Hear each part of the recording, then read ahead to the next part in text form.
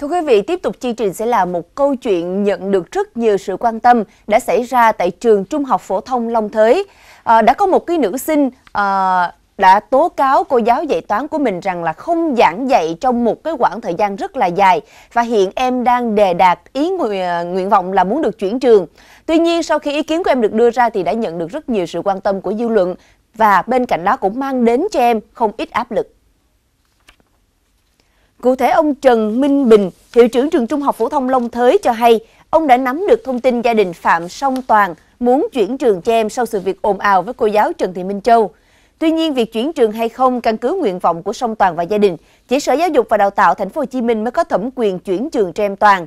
Theo quy định của Bộ Giáo dục và Đào tạo, việc chuyển trường được thực hiện khi kết thúc học kỳ 1 của năm học hoặc trong thời gian hè trước khi khai giảng năm học mới. Với các trường hợp ngoại lệ, chuyển trường giữa học kỳ sẽ do Giám đốc Sở Giáo dục và Đào tạo hoặc trưởng phòng Giáo dục và Đào tạo quận huyện xem xét, giải quyết. Lý do nữ sinh này muốn chuyển trường được cho rằng xuất phát từ sau những ồn ào về cô giáo dạy toán của em.